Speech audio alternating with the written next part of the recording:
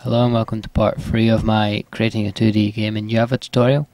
Uh, today we're going to do this sprite class and the image loader class which allows us to get some pictures in our game and get them drawn up and all the things that make a game basically. First of all, a sprite is just an image. I'm using a different sprite class so we can draw each image individually. And each entity or object in the game has its own sprite or different image. Let's get started. First of all we need an image which is the image of the sprite. So private image.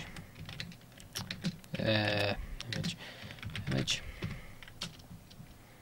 You need to import the image.awt well awt.image even and then the constructor is very simple for this one.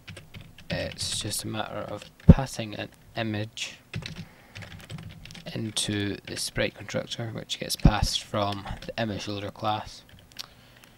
And we just set the image of the sprite class to the image which we pass in. And that's as simple as that.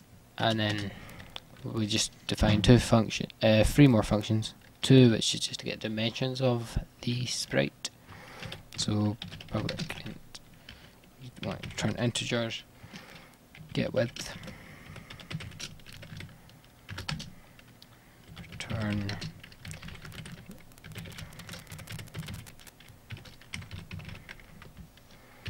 So get width just returns the width of the sprite and get height returns height.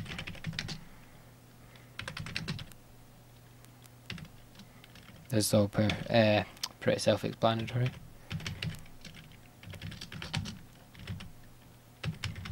I shall be see the text on YouTube, hopefully.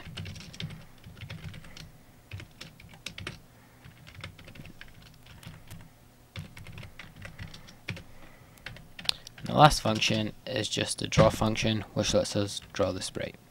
So public